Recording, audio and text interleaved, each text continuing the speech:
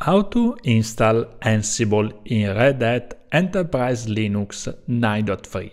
So the good news is that Ansible is already present inside the default repository of the distribution. So welcome to my system. I just connected via SSH using DevOps as username at my host demo example.com.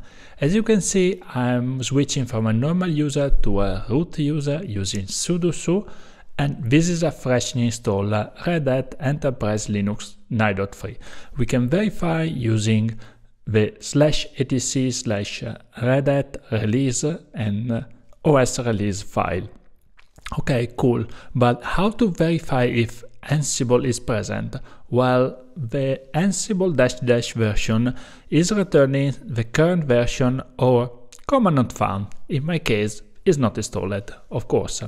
Let's dig down a little bit more and search with DNF the available packages for Ansible. As you can see, Ansible Core, that is the foundation of Ansible, is available inside the distribution, as well as some selected content, uh, but it's not important. The current uh, package available is 2.14.9, so pretty recent, uh, and uh, is only for Ansible.core. Is not available the Ansible community package. If we need additional collection, we need to install using other tools. As you can see, the package is actually not installed on our system and I'm using the A-Arch architecture, so the ARM processor. Um, a common way is, also, is to install using DNF install Ansible, well, no, not Ansible, ansible.core. Here we go. Uh, DNF, the package manager of Red Hat Enterprise Linux, is taking care of resolving all the dependency of the packages needed, basically a lot of Python free libraries, and uh, downloading and installing in our system. The Download and installation process is performed under the hood and we don't need to touch our system by the DNF package manager. And UP is already installed.